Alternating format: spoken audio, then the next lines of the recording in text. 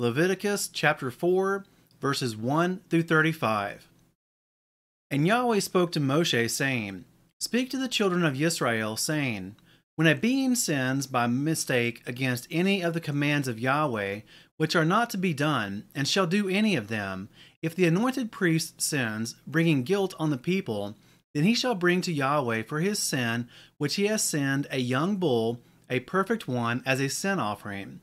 And he shall bring the bull to the door of the tent of appointment before Yahweh, and shall lay his hand on the bull's head, and slay the bull before Yahweh. And the anointed priest shall take some of the bull's blood, and bring it to the tent of appointment. And the priest shall dip his finger in the blood, and sprinkle some of the blood seven times before Yahweh, in front of the veil of the set apart place.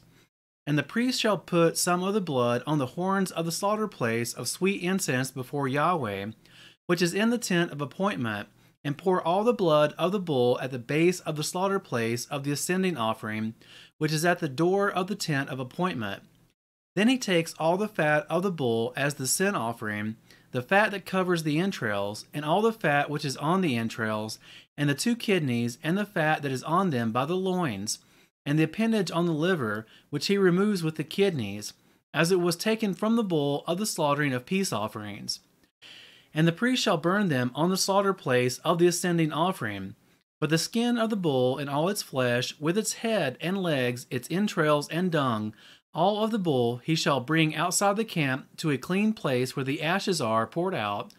and burn it on wood with fire. Where the ashes are poured out, it is burned.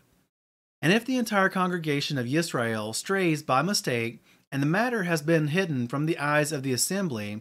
and they have done against any of the commands of Yahweh, which are not to be done, and shall be guilty. When the sin which they have sinned becomes known, then the assembly shall bring a young bull for the sin, and bring it before the tent of appointment. And the elders of the congregation shall lay their hands on the head of the bull before Yahweh, and the bull shall be slain before Yahweh.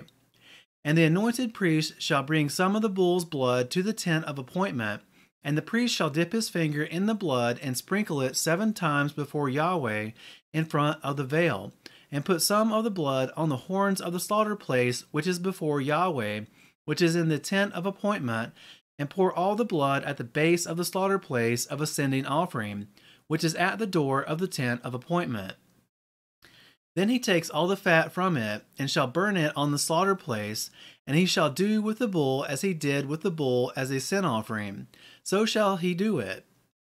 And the priest shall make atonement for them, and it shall be forgiven them. And he shall bring the bull outside the camp and burn it as he burned the first bull. It is a sin offering for the assembly.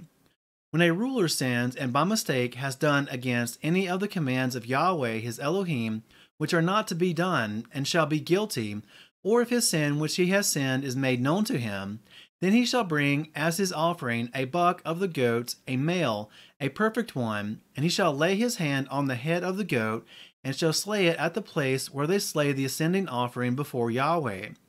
It is a sin offering. And the priest shall take some of the blood of the sin offering with his finger, and shall put it on the horns of the slaughter place of ascending offering, and pour its blood at the base of the slaughter place of ascending offering, and shall burn all its fat on the slaughter place, like the fat of the slaughtering of the peace offerings. And the priest shall make atonement for him for his sin, and it shall be forgiven him. and